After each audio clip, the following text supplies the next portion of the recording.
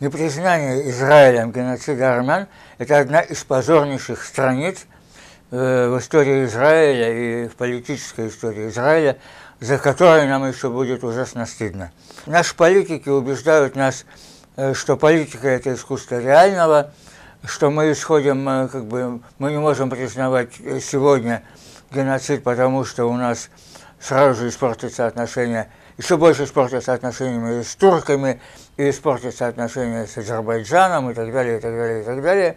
Наверное, в, в какой-то мере это так, но я считаю, что политика, когда под ней нет нравственной основы, рано или поздно ведет к саморазрушению нации, к саморазрушению того, кто вот так поступает, кто, кто делает политику без нравственной основы. От тех выгод, которые мы якобы сиюминутно приобретаем – на самом деле в исторической перспективе мы потеряем значительно больше, потому что мы де-факто сообщаем и туркам, и азербайджанцам о том, что мы фактически готовы э, подчинить э, наши нравственные, моральные и общечеловеческие принципы сиюминутным э, выгодам якобы какой-то дружбы.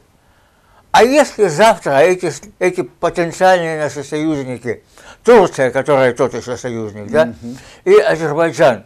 Вдруг им другая шлея под хвост попадет, и, и, и мы опять взвесим эту выгоду и будем отказываться от э, нарушать другие свои моральные принципы в угоду какой-то выгоде, да?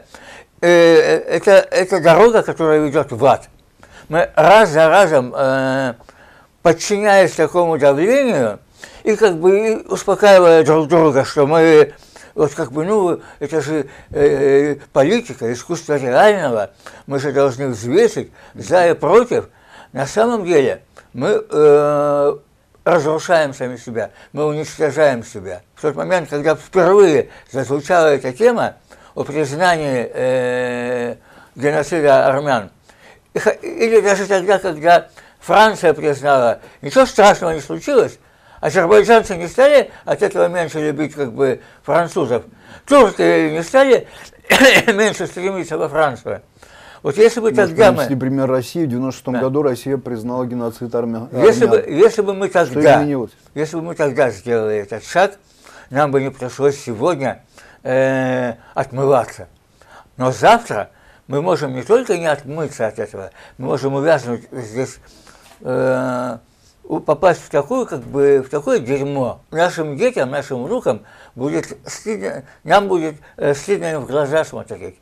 Мне, например, например сегодня уже, когда я э, слышу от э, представителей армянского народа, которые тоже не всегда ведут себя мы еще хорошо этом, мы еще поговорим по отношению к израильтянам, я, мне делают такое замечание, мне становится стыдно, и мне нечего сказать.